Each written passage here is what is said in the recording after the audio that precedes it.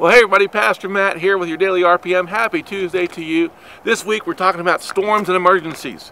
And I'm thinking, you know, if, if uh, you've ever seen a movie that depicts a, a fire, a house caught on fire, a building caught on fire, and here comes the heroic fireman, and he rushes into that building, and he saves the child or the person that's or the dog or the cat and he comes out carrying the dog or the cat or the child and he's a hero. And i just want you to know today all around us all around us not literally but spiritually speaking there are people's lives who are at stake of burning in the fire. And god has called you to be the fireman.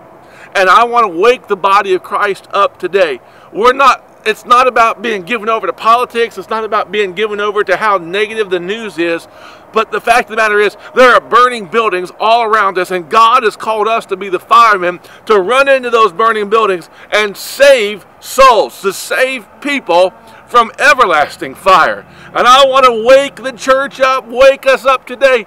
Go, tell it on the mountain that Jesus Christ is Lord. Tell everybody you know Jesus is coming. Tell them Jesus is good. We've got to get out into the highways and byways, church. There is emergencies all around us, and you have the answer. God bless you. I'll see you tomorrow.